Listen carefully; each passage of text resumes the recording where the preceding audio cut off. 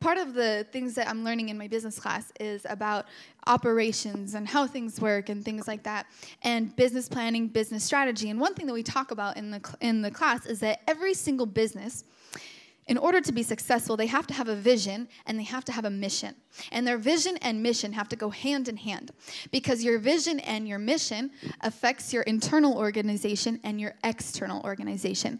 And every time we talk about business and the way that our uh, my professor describes it, I can't help but think about the church because the church operates many in, in, many similar ways. We have an internal organization, which is here, the church, and we have an ex- external organization, which is the community, which is the people at large, which is the people that we are reaching out to. And in order for us to be successful in operating in our internal and external organization, we have to have a vision and mission. And I want to let you guys know that you are a part of a church that has an amazing vision and mission. Amen? Because we are a mega church.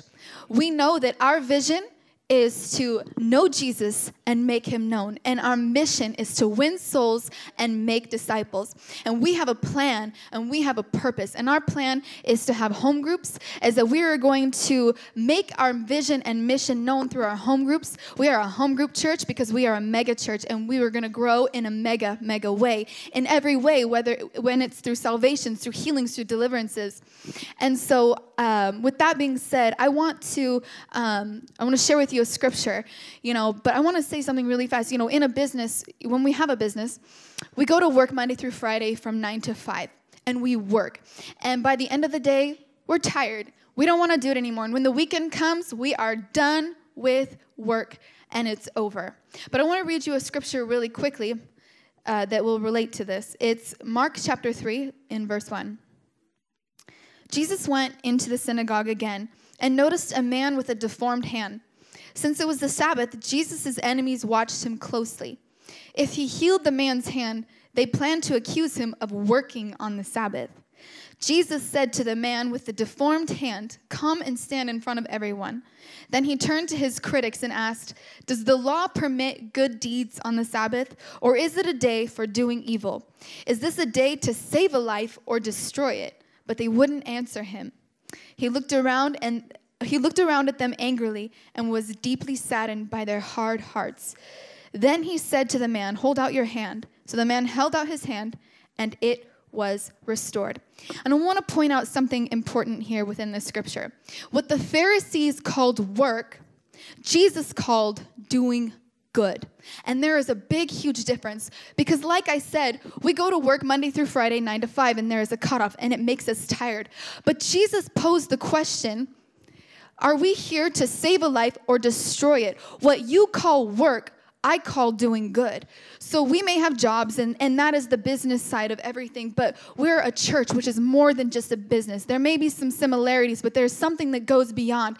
We must constantly have it in our hearts to do good, because when we do good, that is when we see change. That is when we see people's lives being affected for the glory of God. What the Pharisees called doing work, Jesus calls doing good. And when you're walking with the Holy Spirit, there is nothing like doing work, it is only doing good. And that is something that you will never tire of doing.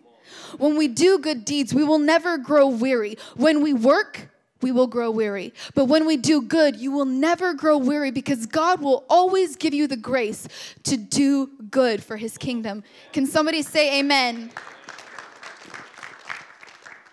So, our vision and our mission is to make Jesus known. It is to do good. And the way that we're going to do good within our internal and external organization, within the church and within our community, is to do good. We have our home groups, we have our Wednesday services, our Sunday services, even Friday night prayer is a great time to bring people.